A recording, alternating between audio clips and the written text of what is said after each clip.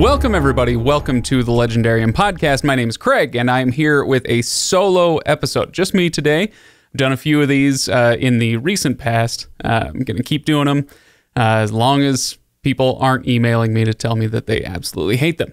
so I, I guess that's up to you if you absolutely hate them. Anyway, today, yes, it's a solo episode, and I'm going to be picking up on a topic that I uh, addressed on YouTube about a month ago. Uh, this is kind of a follow up to that, and it's the the what makes good prose series. So we're going to get to that in just a moment. Uh, I, so I'm simultaneously recording this for the podcast and for YouTube. Hopefully, it it should work just fine for both. Uh, we're going to be reading some extensive passages, so if you want to read that, why you know follow along on screen, then you can pop over to YouTube and go check that out. Um, otherwise, eh, you know, I am going to be reading the whole thing, so it's not like you'll miss anything. You'll just have to listen a little bit closer. Anyway, um, I do want to mention before I get started, uh, go to thelegendarium.com. Um, and also, I, I should say, uh, if you're listening to this near the time that I put it out, go there and poke some holes in it. I got some, uh, I got some emails from listeners who are saying, hey, this is broken on the site, that's broken on the site. And I actually really appreciate that because I, I don't look at it that closely all the time. And so if you notice something that's broken, a broken link, or a page that goes nowhere, whatever, uh, let me know so I can fix it. I'll also mention patreon.com slash legendarium. I do want to shout that out. Thank you to all the new patrons uh, who have been here in the last month or so. Um, and I, I want to say this month, gosh, the month of July has been pretty bad as far as us putting out content. There's been vacations. We did Jordan Con. Uh, there's just a lot of stuff that got in the way. But I will say this is one reason why I'm really glad that we went with the um, the per episode model on Patreon. Basically, to give you a little background on Patreon, we could ask people to uh, you know to put a buck in the tip jar uh, on a monthly basis or on a per episode basis. And I chose per episode in part because of months like this, where it's really light. We haven't really put out much stuff. And so if you're a patron, you don't get charged for stuff that didn't happen, right? So I, I like that a lot. So go check out patreon.com slash legendarium. Okay, let's talk about prose. What makes good prose? I did a video on YouTube. If you haven't seen it, you can go check it out. It was about a month ago. And it was kind of exploring just, it, it was a very, very light, a very light textual analysis of a few different authors, a couple paragraphs from each. And I looked at, um, uh, sentence length and uh, what what was the other small thing? Sentence length, um, uh, paragraph length, uh, whatever. Anyway, the big thing I did was Germanic words versus Latinate words, and I thought it was really interesting how that shook out. Which authors used a lot of Germanic words. Um, and which ones used Latinate words. Uh, so go check out that video if you haven't. but for today, I wanted to back it up a little bit and get a definition of what is prose. Now, this is something that I've talked about um, in different episodes of the podcast over the years. And so a lot of what I say may be familiar to longtime listeners of the show, uh, but we are going to get into more depth. So even if you are a longtime listener, hopefully there will be a little bit more here for you to sink your teeth into.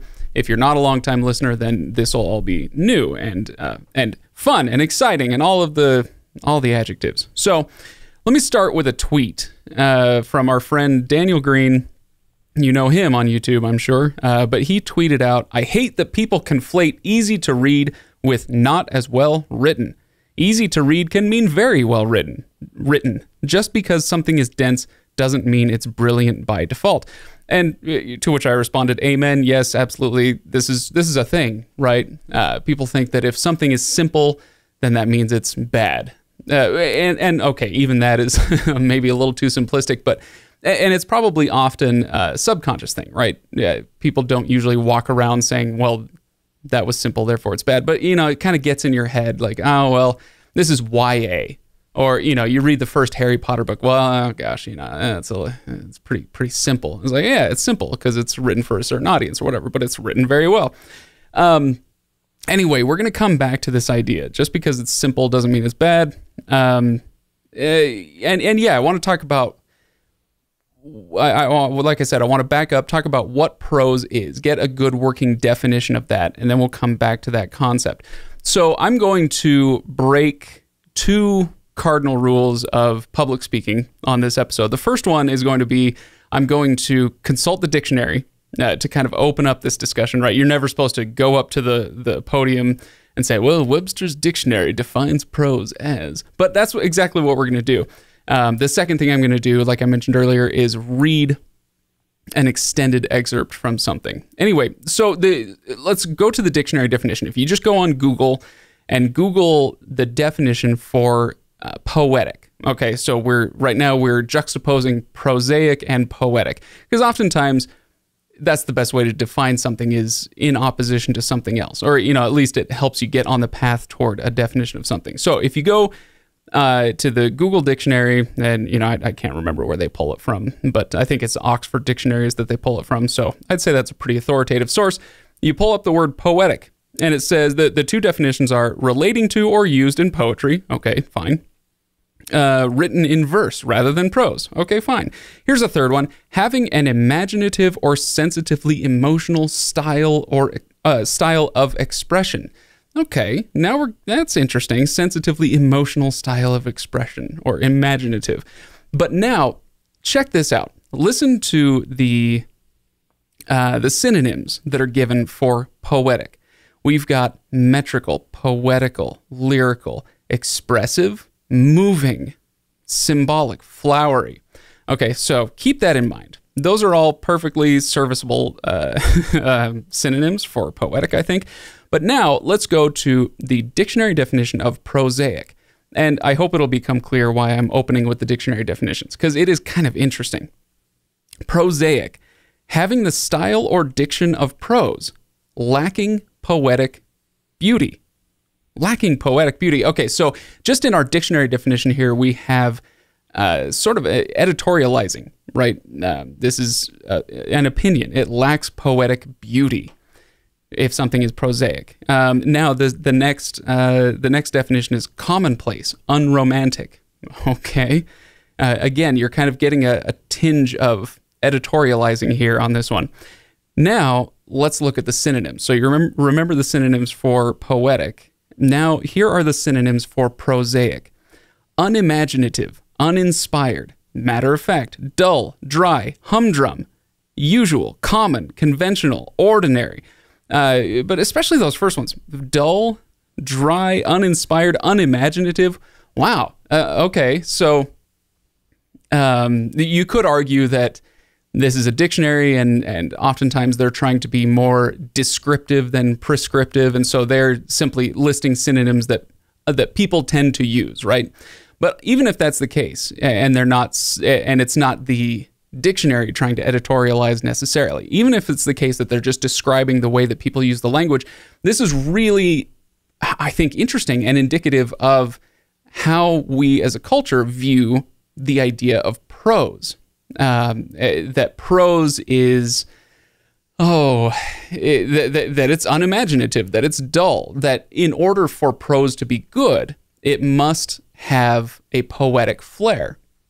You know you you have to drift into the the poetic style if you want to be what was it lyrical flowery moving expressive.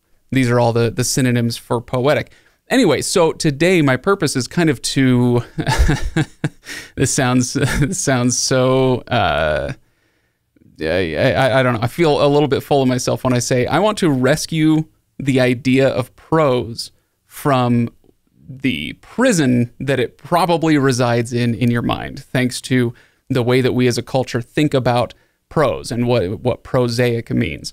So, um, yeah. And anyway, prose it, it gets a, a bad rap. I think that the bad rap is wildly unfair. I think prose is as valuable as poetry.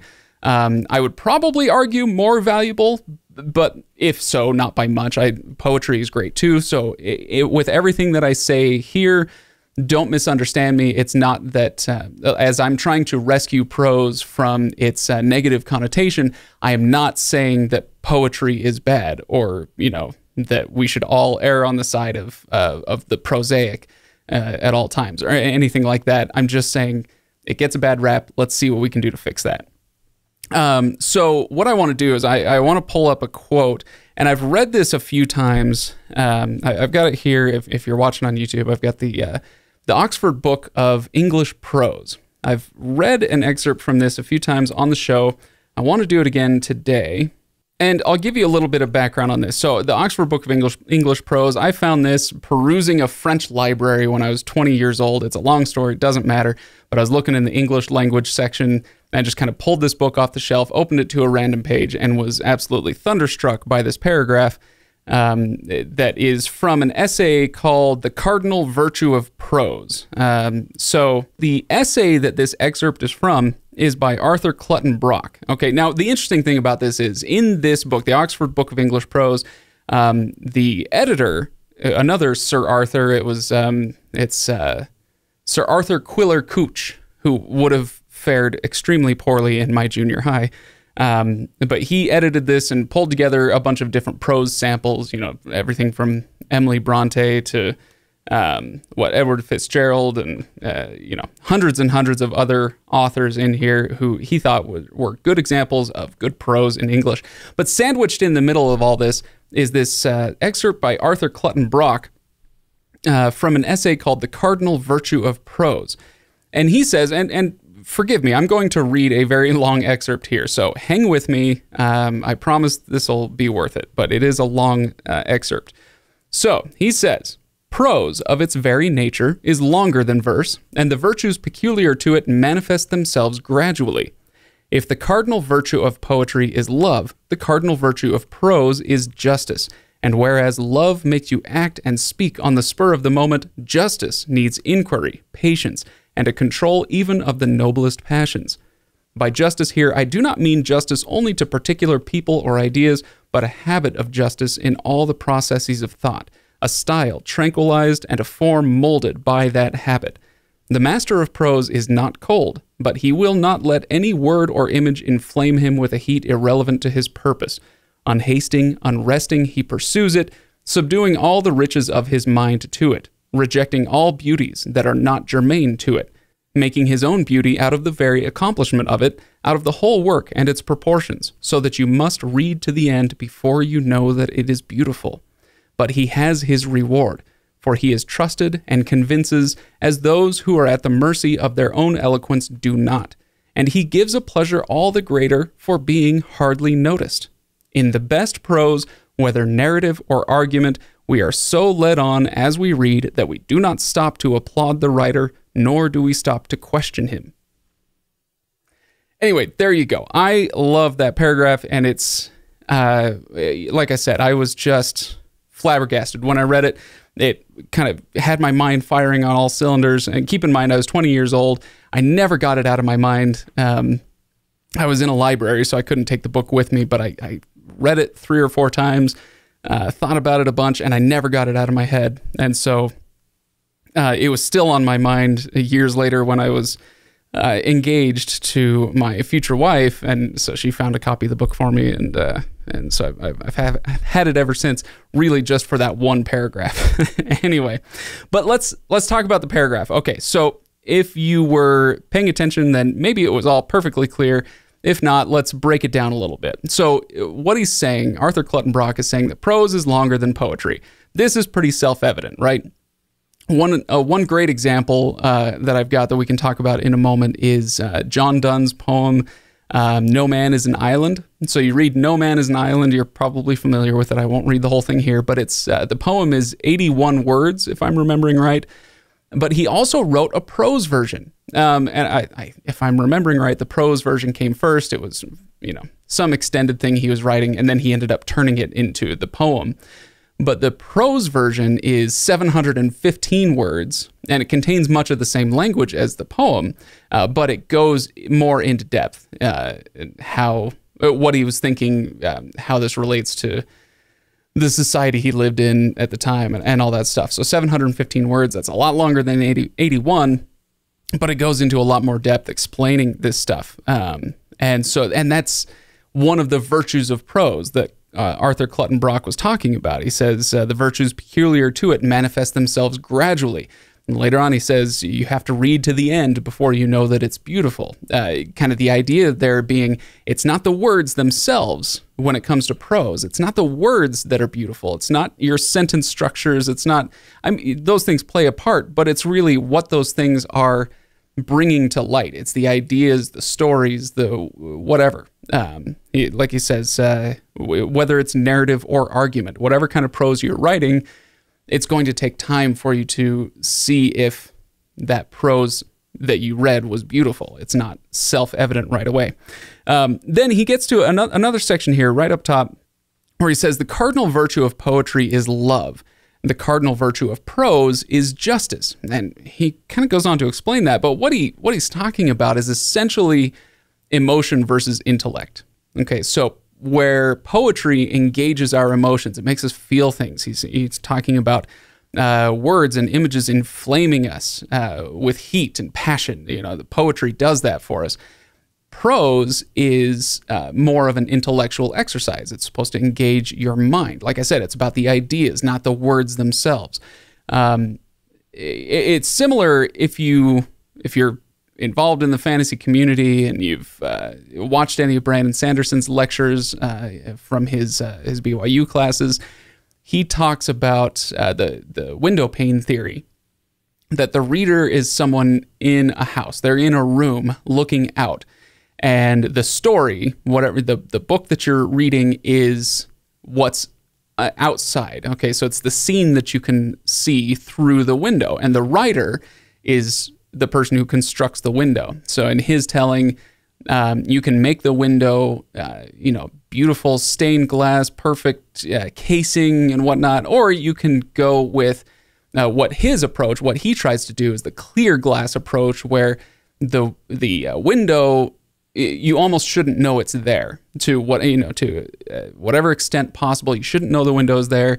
It just um, it just lets you look through to the story on the other side. So the idea here would be if if you've ever been reading a book and I've had this happen a few times, if you've ever been reading a book and the words on the page kind of disappear, you don't really see the words anymore, you're kind of looking through, you're almost watching uh, images on the page because uh, it's coming through so clearly. That is kind of what we're talking about here. Um, so we're we're engaging uh, sorry, back to the the justice versus love. I'm just going to use um, intellect versus emotion since I. Th- uh, I think his word choice there was, eh, let's say it's interesting at least. But the idea here being, yeah, let's let's engage the intellect over the emotions.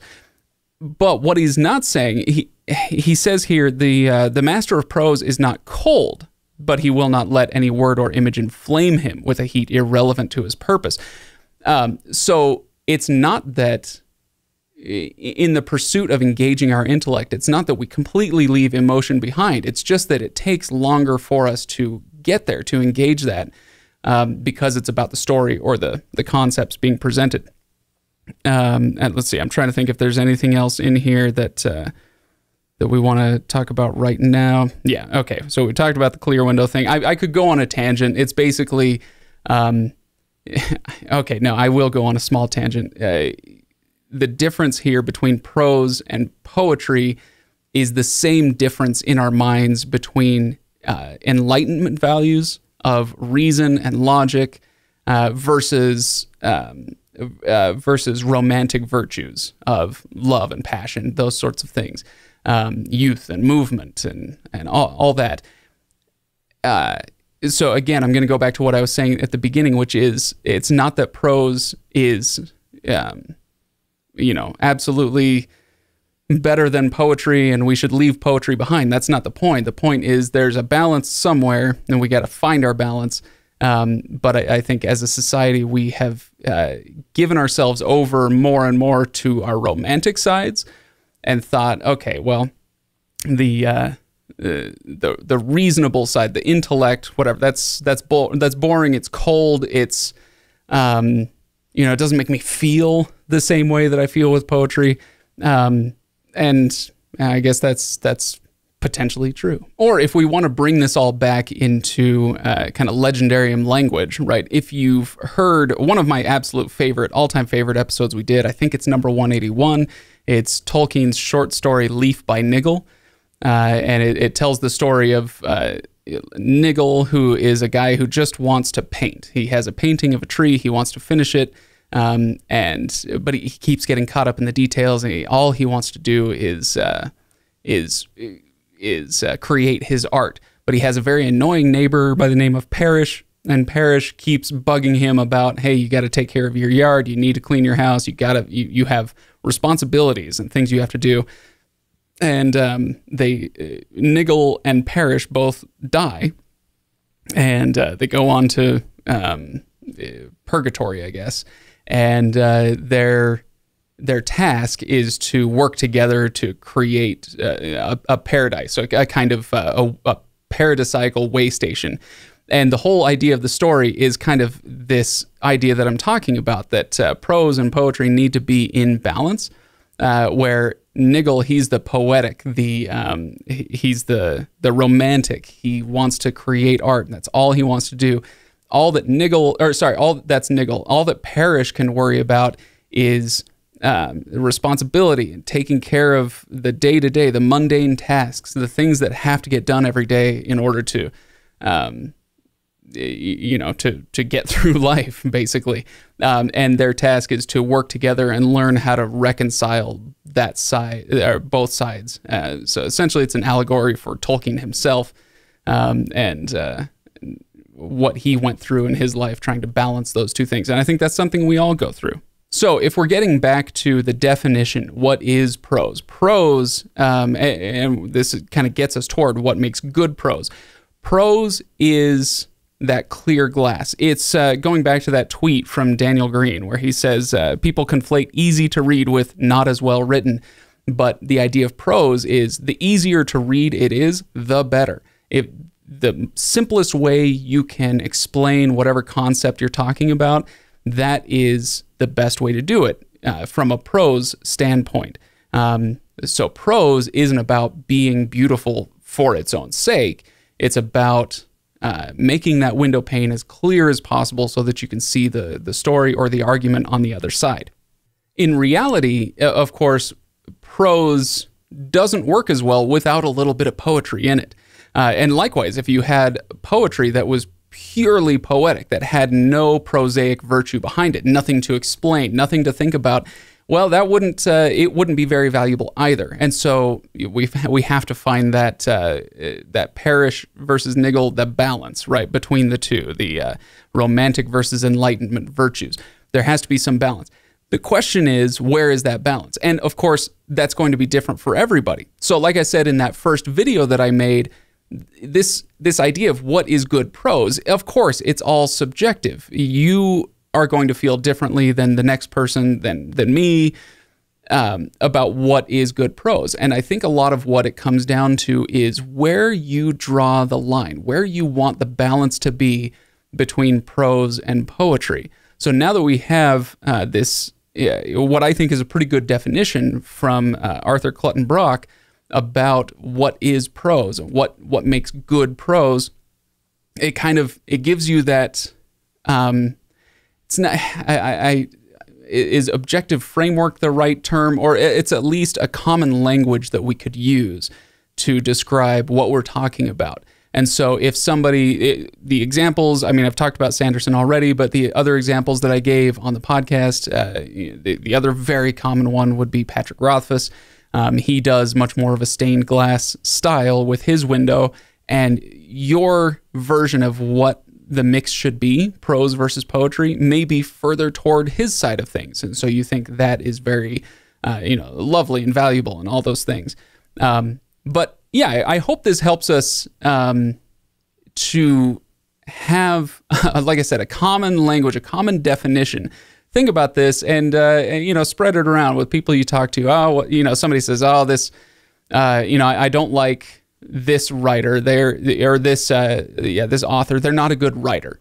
The prose is bad. And, and sometimes that may be true. I don't want to I don't want to dismiss out of hand the idea that prose can be bad. It, it can. Um, you can be an unskilled uh, prose artisan, right? But it could just be that somebody, when they say that prose is bad, what they mean is I was hoping for something more poetic. Um, and so when you next time you have a conversation like that, next time you hear somebody say, "Well, the prose is bad," you can ask them, "What do you mean by that? Uh, what what is it that you're looking for in prose? Why is it that you think that prose is bad? Is it just that it wasn't poetic enough? Fair enough. Um, and now here's you know eight other authors to recommend that maybe match up more with your style of uh, of reading. So anyway, uh, gosh, I've gone on for quite long enough. I think. Uh, hopefully, this wasn't too painful with just me by myself. I think this is the longest solo one that I've done so far, uh, if I'm not mistaken. Anyway.